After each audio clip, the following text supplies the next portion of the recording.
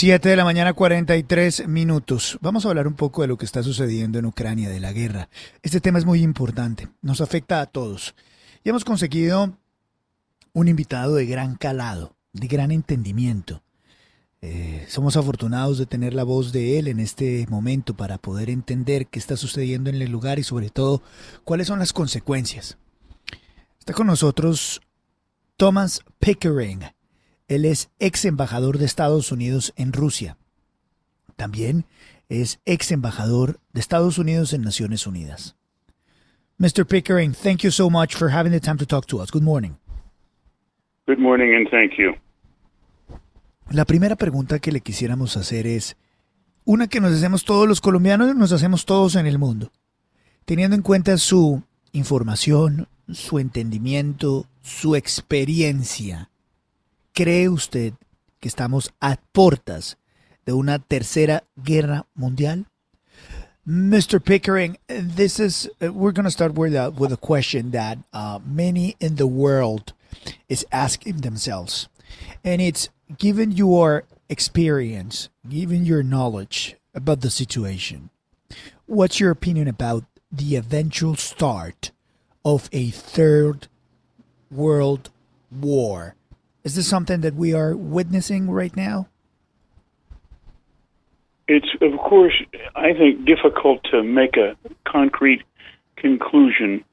Much of what is going on in Ukraine leads us to believe that it could end up in that direction, particularly last week's threats by President Putin that he will indirectly, he said, potentially engage in nuclear warfare if, in fact, his demands, his objectives are not met. And this is worrying because it's the first time since the use of nuclear weapons in 1945 that a leader has threatened the use of nuclear weapons on a basis that he will use those in a war of choice to achieve objectives rather than to deter the use of nuclear weapons by another country or another group of countries.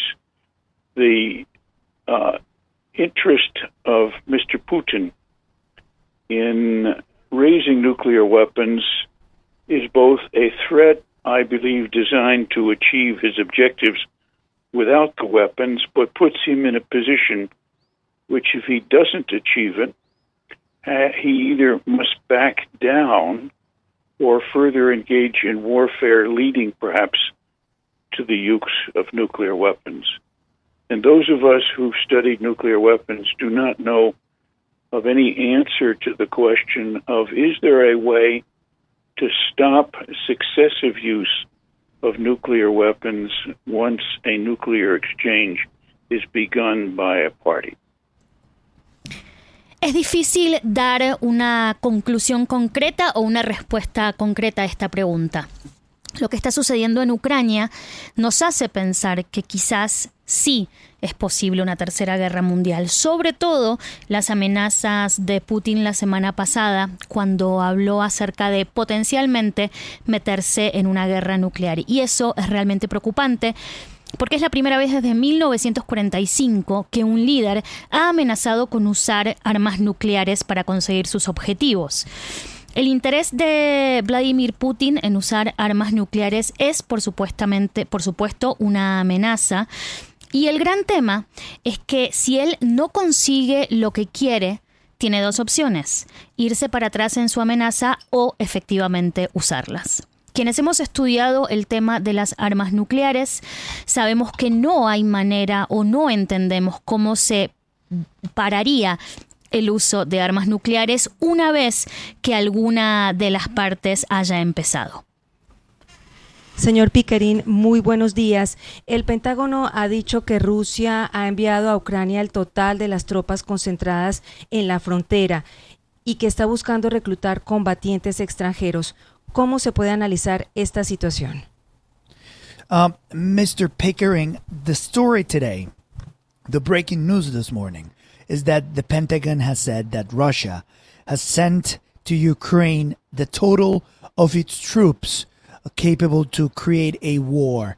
How do you interpret this? This is a full scale war against Ukraine right now? It appears to be, and certainly Russia has gathered together 200,000 more or less soldiers from its army over a space of a number of months against the backdrop of the United States and its NATO allies releasing intelligence indicating that there was confidence on the part of the U.S. and its allies that Mr. Putin would attack.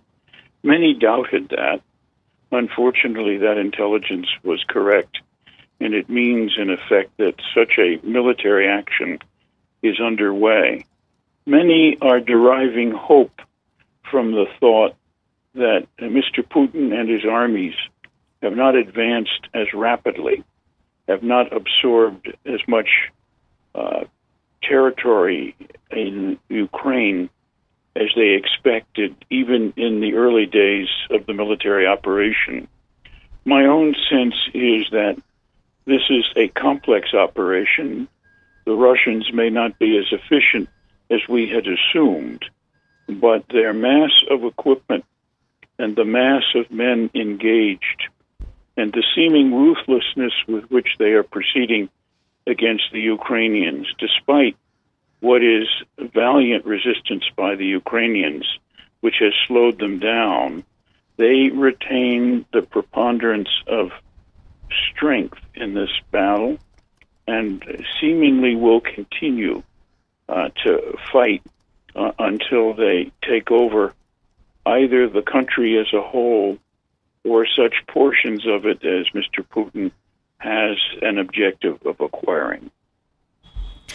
Bueno, Luis Carlos, sí parece ser. Y mm, Rusia ha conseguido 200.000 soldados más de su armada para ir en contra de Ucrania y en contra de los aliados de la OTAN. Nosotros desde inteligencia sabíamos que Putin iba a atacar, teníamos informes diciendo que lo iba a hacer, pero la realidad es que mucha gente dudaba si esto iba a suceder o no. Pero efectivamente y lamentablemente los informes de inteligencia eran reales. Mucha gente tiene la esperanza de que esto no llegue a ser tan grave porque Putin no ha avanzado tan rápidamente en Ucrania como en un principio se pensaba o se esperara que lo hiciera. Esta es una operación compleja, esto es lo que creo yo. Los rusos pueden no ser tan eficientes como pensábamos, pero la cantidad de gente que tienen y el equipamiento que tienen y la rudeza con la que se han metido en Ucrania hace que, aunque los ucranianos hayan intentado y hayan logrado parar un poco, estén en riesgo. Y Rusia sigue intentando meterse, ya sea para quedarse con el país completo o para quedarse con determinadas regiones. Una pregunta desde la perspectiva colombiana. ¿Qué tan importante es Venezuela para Putin? One question from a Colombian standpoint. How important is Venezuela for Putin? I would say that Venezuela is nice to have as an ally and at the same time helps Mr. Putin relieve what is clearly a deep sense of isolation which must come from the voting last week in the United Nations General Assembly, where only a few states stayed with him all the way, not including Venezuela. And as you know, there are newspaper reports in last days that the U.S. has flown uh, some of its diplomats and experts to Venezuela to talk to President Maduro about the idea of reopening the sale of Venezuelan oil to the United States, perhaps, or to Europe. This is in the context of a growing feeling that the United States has begun an effort to mobilize all of the oil producers that it can manage to bring together, including the United States with its large potential for fracking oil, uh, to supply Europe uh, in the event that it decides to cut off Russian oil trade with Europe. The United States will also have to consider the fact that there is apparently a significant shortage of oil, even with its own efforts. And will it undertake, for example, to subsidize the cost of oil to reduce the income that Putin receives from whatever oil exports he can manage to continue, perhaps to China or others? We will have to wait and see. At the moment, Putin's war is at the same time increasing radically his income from oil sales, and so he is achieving a double effect by the invasion, something that, of course, is not in the interest of Ukraine, not in the interest of the Europeans who depend on Western oil, not in the interest of people who are looking at potentially a peaceful settlement and the oil and the restriction of oil exports to Russia may be the basis for significant enough pressure uh, to bring Mr. Putin more firmly and committed a negotiating table uh, to decide on an answer that will not, in one way or another, uh, totally uh, control Ukraine because his economy will, in that sense have been badly undermined by the cessation of his oil exports. We will have to wait and see. Venezuela es un buen país para tener como aliado y además al mismo tiempo salva a Putin de un sentido de absoluto aislamiento. Tenemos que recordar lo que sucedió en la votación de la Asamblea General de las Naciones Unidas la semana pasada porque muy poca gente estuvo junto a Rusia y junto a Putin. También debemos recordar que Estados Unidos ha mandado diplomáticos y expertos a Venezuela para hablar con Maduro sobre una posible exportación de petróleo a Europa y a Estados Unidos. Y Estados Unidos, de hecho, está haciendo todos los esfuerzos posibles para conseguir que Europa tenga em, suficiente petróleo en el caso de efectivamente cortar la relación de este tema con Rusia. También tenemos que entender que lo que pasaría es que habría, habrá que subsidiar el costo para reducir la cantidad de dinero que recibe Putin por el petróleo y hay que ver si Estados Unidos efectivamente está dispuesto a hacer esto y a subsidiarlo. Toca esperar y ver. Por otro lado, también es imposible eh, no ver que para Rusia, para Putin, además de la invasión a Ucrania, hay algo que le ha venido muy bien y es que el precio del petróleo ha aumentado. Entonces, esto no está en el interés de los europeos, en el interés de los ucranianos, pero sí en el interés de Putin. Ahora, restringir la exportación de petróleo desde Rusia podría lograr que Vladimir Putin se siente efectivamente a negociar y que se siente a negociar entendiendo que su economía se empieza a complicar.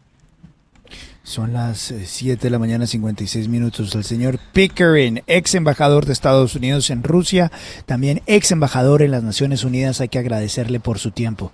Señor Pickering, gracias por responder a nuestras preguntas, muy amable. Gracias a ustedes para esa oportunidad de charlar con ustedes. Muchas gracias. Un abrazo.